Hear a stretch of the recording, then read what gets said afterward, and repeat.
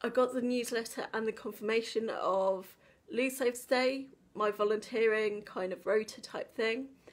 Two weeks went by so quickly, and then it was off to Looe. yes! This was on Thursday, the 20th of September, and I went to the hotel of Le Papa, which means in modern English, modern English, I just stayed I just stayed with my dad. so yeah. Then there was Thursday. Thursday night. Oh no, no, no, no, there was a thunderstorm. There was a hurricane. Here it is. I did try and do a live stream then. Um, yeah, have a look. Waterloo in the very, very, very cold and wet. Oh, oh look, oh look. Oh no, don't look at that. Look, there's a sign. We've got to the right place. Wow. Welcome to a very, very, very cold and windy Looe. The, uh, the party tonight has been cancelled because it is raining cats and dogs out here. Yes, this is what I have to suffer from lovely, lovely people. Um, there. Of the first act, it was literally cancelled. The there was meant to be three acts that night, and literally they cancelled it. Um, and I did actually see volunteers sweeping all the water off the stage. Then Friday. Oh my god, so much different. If in 24 hours you could have hurricane and bright sunny day, this was it. Day was much milder off the storm. Hey, I I did some volunteering in the evening. Um, I think I did five till I think I did five till eleven.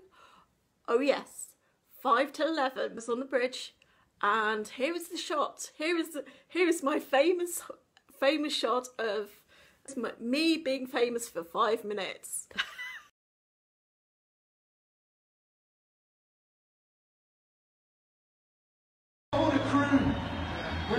time, alright? Don't forget, buy the CDs. And don't forget, I got a radio show every Sunday, BBC, tune in, Inside Player, check it out.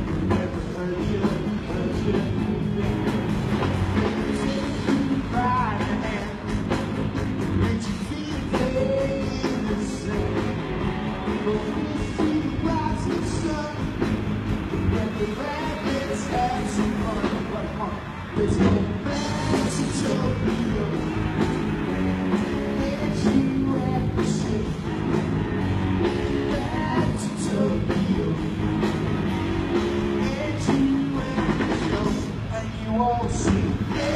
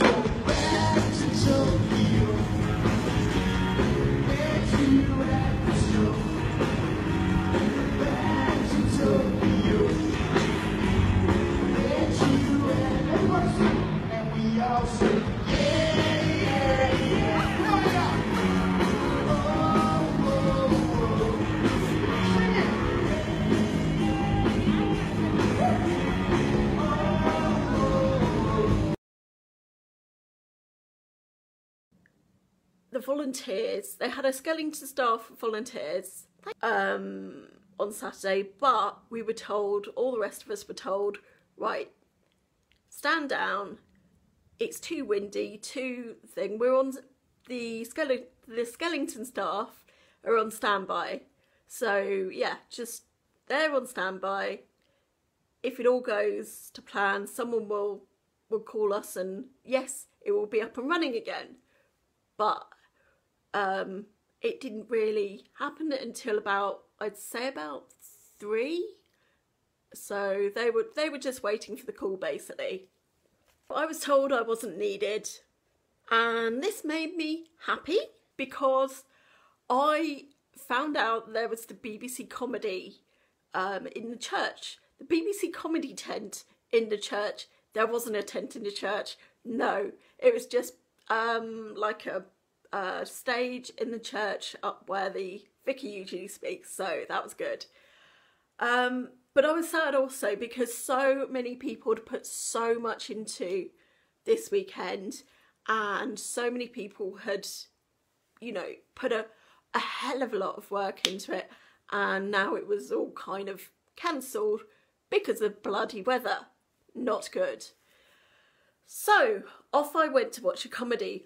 But before I say that, um, while they were on standby, the volunteers who were the Skellington staff, some they halved them up, put some in the pub, and put some of the BBC comedy tent, and it was funny. It was very funny. So this guy was the best of the two acts I saw. He is fantastic. He's a local comedian, um, local comedian, and he's from the West Country, and he was just very, very funny. And I watched two acts, and he was the best one. So here's a little clip of him. He he was really, really good, and I really, really enjoyed his act for an. We had to make our own fight growing. We had to, we're not proud of it, we had to get drunk, push over cows, see if they could stand up again. We had to do the best, make the best of it. Ah, sorry, Tony, when it happens. We had to put bicarbonate of soda on a chip, feed it to a seagull, see if it explodes. That's what we had to do. Amazing, and I hope, I hope he makes it onto um, the big television programs. But he was really, really good. The second one, not so much so. I was felt so sorry for him though, but because in the in right in the middle of his act, right in the middle. It's not on not on the video. It's not on the edit bits, but right in the middle of his his act, um, the the head volunteer organizer got a message on her phone and literally looked around, did all the thumbs up, and half there was two sides of the church, and then half the people on my side of the church got up and they were like, bye bye, bye bye, we'll see you later, we'll see you later. And I just felt so sorry for him. I just thought, you know, really, poor man. But he knew we they all had uh, high vis jackets and stuff, and yeah, they were going back to work basically. Um, so yeah, I saw them on the bridge later, and yeah, it was it was okay. It was okay. Nearly got blown off the bridge. Mm. Anyway, so watch some amazing music acts that night. Here they are. Here they are. Yes.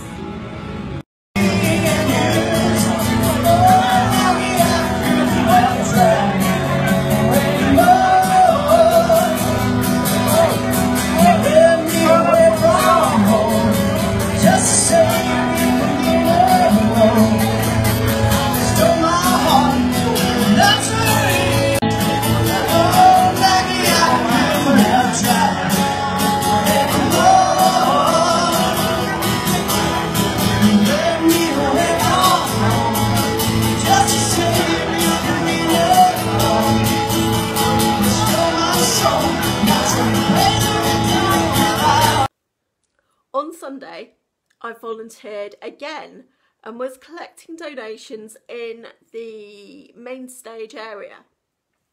Here it is. It's on Cornwall, Cornish Live or Cornwall Live. Here, here is the picture anyway. By this time, I was very tired. But I saw this band. I I didn't really see any other bands, but I did see one band on the Sunday, and it was really good. And they're called the Normals, and really, really good. I really enjoy watching their stuff every year. So yeah. And here, here they are. We come to Monday.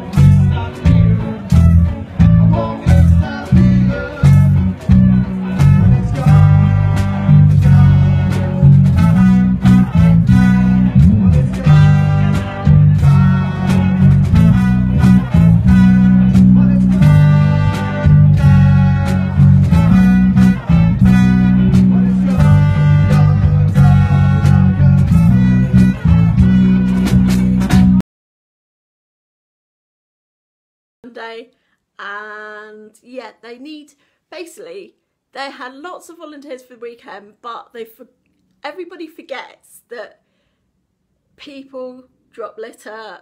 You know, they need to organise stuff on the Monday afterwards. Always, always. So on the Monday, I put my name down on the Sunday, and on the Monday, I went and I um, cleared. Basically, I cleared the car park or the main stage, I clear the car park or the main stage area, the main stage area of litter and rubbish while listening to a podcast. Okay, so today you can see that it's not at all windy. Right. Um, so that was quite good and I got to talk to like various people that I'd um, got acquainted with over the weekends and some people that I knew anyway. So that was my Looe experience and what I experienced at Looe Saves the Day Music Festival 2018. I enjoyed volunteering and meeting new people and helping the people and the tourists and visitors. Asking, I hear you asking, I am hearing you asking, is the festival, is there a festival for 2019 or 2019? Well, we simply don't know. We honestly don't know. I don't know. Um, they're keeping a very tight lid on it. Um, there's a community meeting on the 26th of October. Today is the 10th of October, so we're just waiting for that really. Um, there is, there is basically, um, I got a text message yesterday saying they've got a thank you party for all the volunteers and that's happening around the same time. And I can't go because I'm 200, 200 miles away. But it's fantastic that they thought, why not have a um, a donated party? Um, amazing. They are, you know, that is really lovely to give the volunteers a party. Anyway, all I can say, I am not anyone. I am not anyone, I'm just a Londoner who goes and helps and volunteers at various different places. I am not anyone.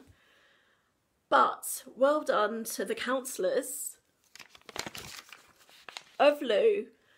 They organised it and they organised us volunteers. They organised us volunteers. They fed us, they watered us just before our duties Um, yeah, thank you very much for for putting it on. And here, fingers crossed, and here, fingers crossed, for the next one. And for an event for 2019. And I would say, I think it went really well. And this was how to turn a negative into a positive.